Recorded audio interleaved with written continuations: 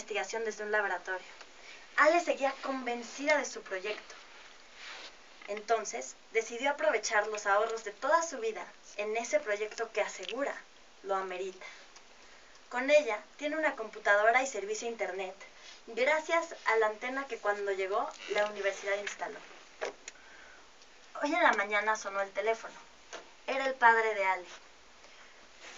Mija, ¿cómo estás? Tu madre y yo estamos muy preocupados por ti. Ay, papá, voy muy bien, es que no sabes, ya casi lo logro y estoy tan feliz. Mija, es que ya llevas mucho tiempo ahí. Ya necesitamos que regreses, estamos muy preocupados. No, pero es que tú no sabes, papá, tengo una vida aquí padrísima, ya lo voy a lograr. Es que ya lo veo, ya lo puedo vision, puedo ver mi sueño. No, Ale, ya. Ale, necesitamos que regreses. Tu mamá y yo estamos muy preocupados. Muy. Ya no se preocupen. Total, ya estoy aquí. No se preocupen. Ya pronto, ya pronto, en verdad, se los juro. Llevas años, llevas años diciéndonos que ya pronto, ya estuvo bueno. Ay, papá, como buen papá, tú tan preocupado, hombre, si no pasa nada. Bueno, ya, me tengo que ir. Ya me tengo que ir porque se me está acabando. Eh, eh, eh, se le acabó. se le acabó la energía eléctrica al teléfono de Ale, interrumpiendo así la llamada con su padre. El campamento es bastante cómodo. Es una especie de choza construida, construida de palmas y madera. Tiene una planta que genera energía eléctrica. Es, es muy sencillo. Alejandra solo tiene que pedalear la bicicleta estática por 5 horas sin interrupciones para tener así media hora de funcionamiento de la planta y lograr generar energía suficiente para una hora de computador y para el refrigerador por tres días.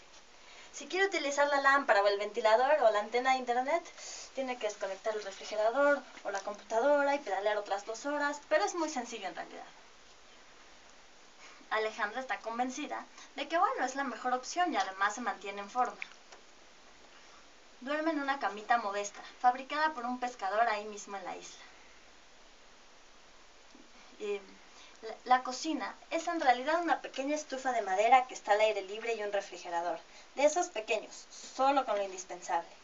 En lo más alejado de la isla hay un pequeño manantial de donde gracias a un sistema sofisticado de tuberías improvisadas obtiene agua potable en el campamento. Ahorita cerca de las 3, como todos los martes, llega Olga con alimentos, medicinas, cerillos y demás utensilios necesarios para sobrevivir. Olga es una buena amiga, bióloga también, tranquila y paciente, que siempre ha apoyado a Ale, inseparables desde la facultad. Ale, ¿cómo has estado, amiga? Cuéntame, ¿cómo te va? ¿Sigues en esto? Oye, ¿sabes que en Tierra Firme tenemos un laboratorio para ti, ¿verdad? Puedes incorporarte cuando quieras. Ay, sí, amiga, pero no sabes, no sabes ya cómo voy. Voy tan avanzada, es que quiero que en serio te leas todos mis apuntes y todo.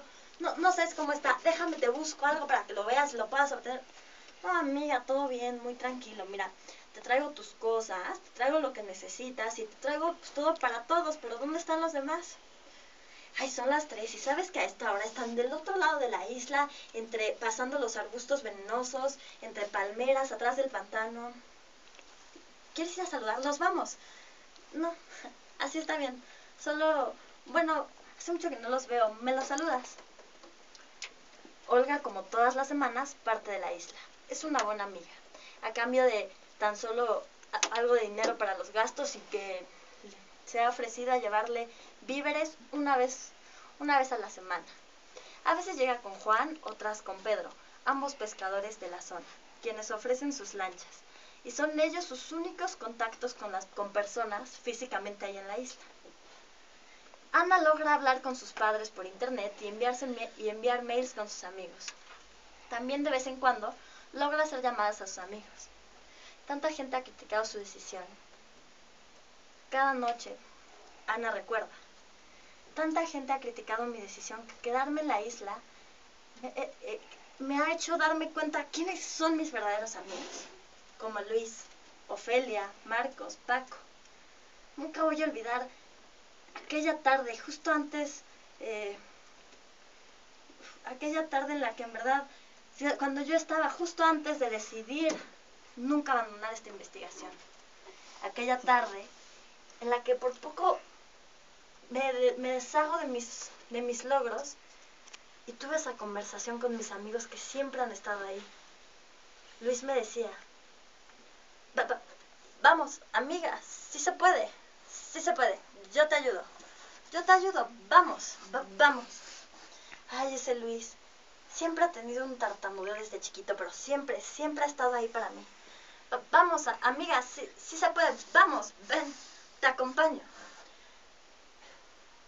Unas horas después, Marcos se acercó a mí, acuerdo perfecto, llegó Marcos, lento como él siempre, tranquilo, paciente.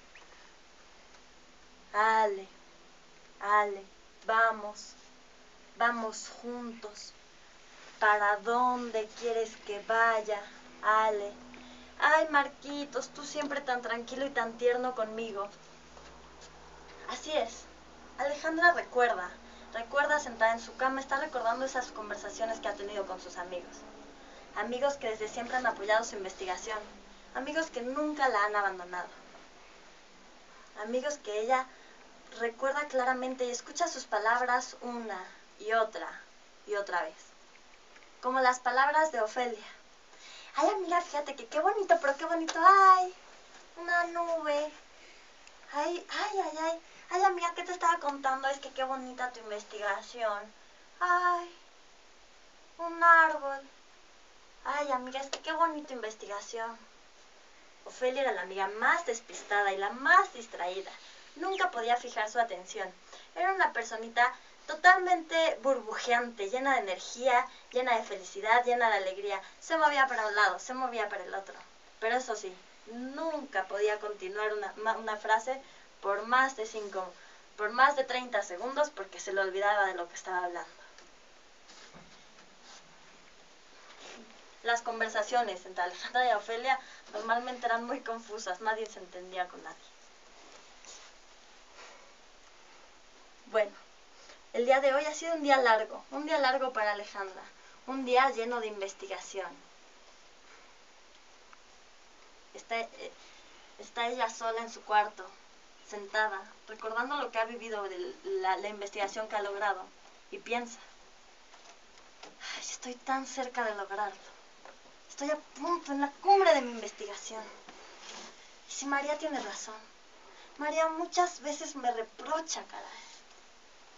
Alejandra, ¿qué onda, güey? O sea, es que no estás avanzando. Ya vete, vete de aquí, déjate de fregaderas. O sea, es hora de que te llegues a tu casa, te bañes, porque llevas años en esta mendiga isla. Y aquí total, ¿qué, ¿quién te pela? ¿Quién te pela? Nadie. Vete ya a tu casa. Ay, y si María tenía razón cuando me decía esas cosas. Es que estoy tan cerca de lograrlo, pero tan lejos. Dices, no, no, yo estoy convencida, estoy convencida que María se equivoca. Y cuando llegue con mi, con mi magnánimo proyecto, cuando llegue con mis pájaros todos a la civilización, yo sé que María se va a arrepentir. Yo sé que va a dar la cara y me va a decir, no, mira, tú tenías toda la razón. Yo lo sé, yo lo sé, estoy segura. El día de hoy ha terminado. Se sienta en su cama. Escribe en su bitácora. Día 3457. Ayer por la tarde Ofelia se lastimó una pata. Sospecho que esto retrasará la investigación tan solo un mes. Marcos va muy bien. Es el más avanzado de todos. Ya casi, ya casi logra caminar hacia donde yo le digo que vaya. Fin. Ok.